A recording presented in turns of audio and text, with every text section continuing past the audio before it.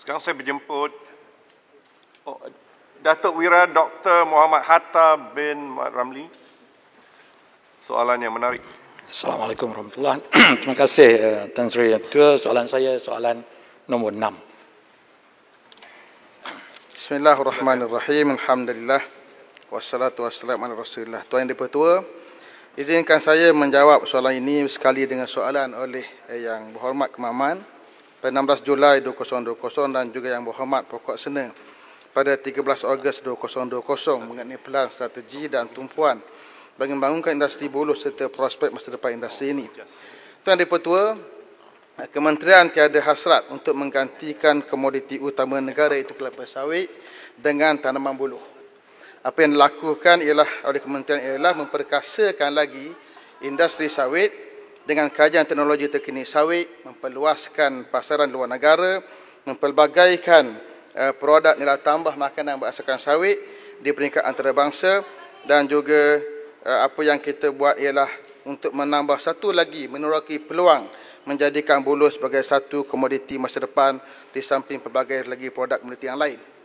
Bagi membangunkan industri buluh, kementerian telah menyenaraikan buluh sebagai salah satu tanaman hutan yang perlu dikomersialkan menerusi pembangunan eh, program pembangunan ladang hutan bersama dengan 8 lagi spesies hutan yang lain yang telah diluluskan pada tahun 2005 lagi dengan peruntukan sebanyak 1.04 bilion tetapi untuk buluh eh, disenaraikan pada tahun 2014 dengan saiz minimum 20 hektar dan juga bermula tahun 2020 dengan sas minimum diturunkan pada 4 hektar.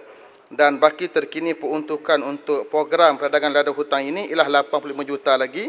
Dan uh, kementerian saya sedang dalam proses mengubah skim pinjaman mudah yang berbentuk konvensional sebelum ini kepada pembiayaan berasaskan Islam atau patuh syariah. Dan untuk membangunkan lagi industri ini, kementerian sedang dalam proses menghasilkan satu pelan tindakan pembangunan industri buluh Malaysia untuk tahun 2021 hingga 2030 dan satu bengkel telah dibuat melibatkan pelbagai pihak dibincangkan pada 30 Jun 2020. Selain itu, kementerian juga telah uh, merancang uh, strategi strategi jangka masa pendek dan panjang antaranya membangunkan piawai antarabangsa berkaitan buluh, R&D dengan FRIM dan juga promosi seperti penganjuran World Bamboo Day dan Asian Bamboo Symposium yang terakhir dibuat pada tahun 2016 dan juga membina pelbagai infrastruktur dan bangunan ikonik berdasarkan buluh antara yang terakhir akan dibuat di Kuala Terengganu sebagai satu projek penyelidikan dan juga meneruskan pembangunan industri buluh ini untuk RMK ke-12 dan juga kita melihat uh, peluang daripada buluh ini untuk menghasilkan papan lapis, perabot, makanan, fabrik, kraft tangan, kutleri, pembinaan, iko pelancongan dan juga bahan bakar seperti pembuatan arang dan pelet semua adalah satu peluang yang mesti diteroka oleh rakyat Malaysia dalam industri ini. Terima kasih. Soalan tambahan pertama yang berhormat Lumut. Terima kasih uh, Tan Sri Ketua. Terima kasih Menteri atas jawapan dan uh, saya gembira kerana uh, pihak belah sana tidak lagi mentertawakan industri buluh ini uh, yang cuba dipolitikkan dan uh, ada yang bertanyakan uh, spesies yang mana yang boleh digunakan untuk menjadi uh, exhaust pipe kereta terbang. Uh, ini parit sulung tak ada dalam dewan ya. Uh, jadi uh, kita gembira dan saya ingin bertanya kepada menteri unjuran dari segi uh, perbelanjaan ataupun model yang akan kita gunakan dan hasilnya kepada negara dalam jangka masa yang terdekat dan juga dalam masa sederhana supaya ianya dapat memberikan gambaran betapa pentingnya industri ini supaya dia dapat menggalakkan terutamanya anak-anak muda kita yang bakal disediakan dengan mungkin modal-modal uh, permulaan perniagaan yang uh, sepatutnya disediakan supaya minat anak-anak muda dalam industri yang uh, mempunyai masa depan yang baik ini dapat disegerakan. Terima kasih. Terima kasih sahabat saya daripada Lumut. Uh, isu ditertawakan itu barangkali merujuk kepada cara menjawab bila mereka kaitkan buluh dengan sawit. Adapun saya menegaskan bahawa sawit satu isu yang perlu kita perkasakan dan buluh satu isu yang mesti kita perkasakan. Itu perbezaan pendekatan antara saya dengan uh, yang bahagia seputih.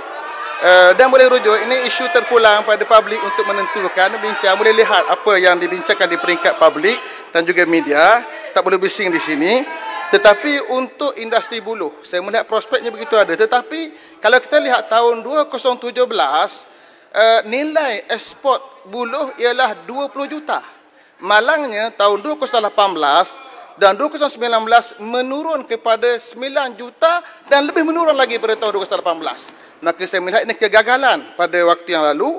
Maka bagi saya industri mesti terpacu dengan cara yang begitu bijak dan berhati-hati dan prospek sangat besar. Sebab itulah yang pertama sekali ialah yang saya kempen besar-besaran ialah untuk menanam buluh kerana telah di, di, disediakan suatu pembiayaan mudah yang boleh memberi untung jangka masa panjang. Kerana hari ini Eh, bekalan bulu hanya bergantung kepada bekalan hutan yang diambil oleh orang kampung atau orang asal sahaja.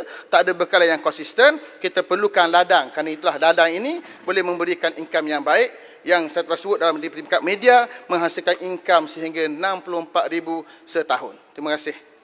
Soalan tambahan kedua ya silakan yang berhormat. Parit Terima kasih. Saya Parit. baling ni Parit. penting. Baling, Perkara Parit ni dulu. memang dibaling banyak Parit, puluh. Parit. oh, tidak tidak Baling bagi belakang dulu. balin ba, baling bangun lambat Terima kasih. ya, silakan Uh, terima kasih uh, Tuan Sri Speaker. Terima Parit kasih. ya Terima kasih uh, Menteri.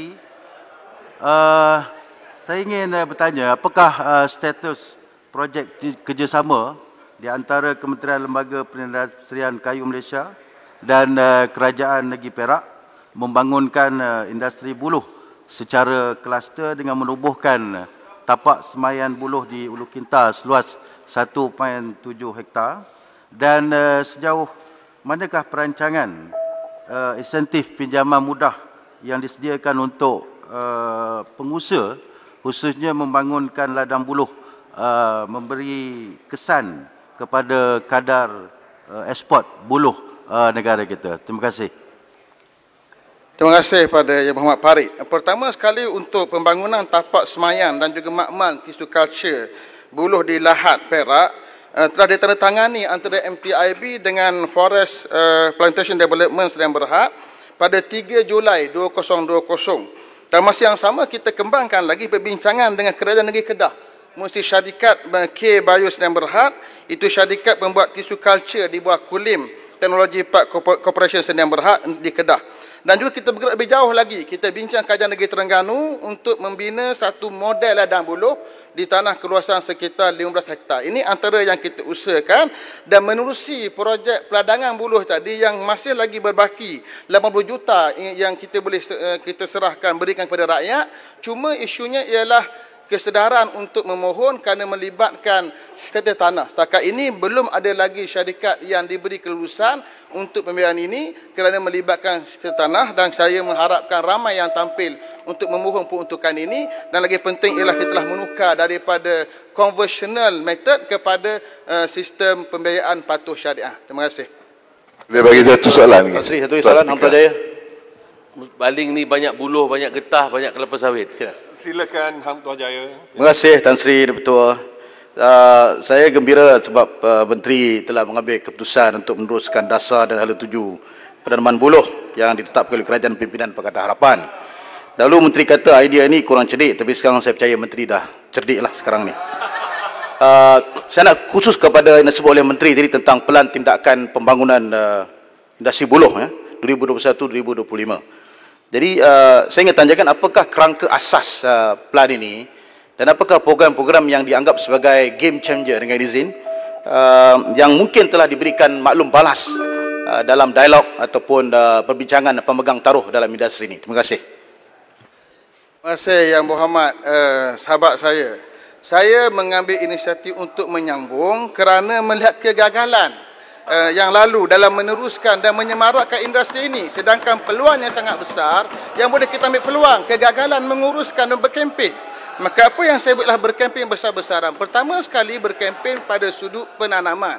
Kerana selagi mana buluh diambil secara uh, biasa saja menerusi ladang hutan daripada orang asal dan orang kampung, maka tidak ada bekal yang konsisten dapat kita bekal kepada industri ini.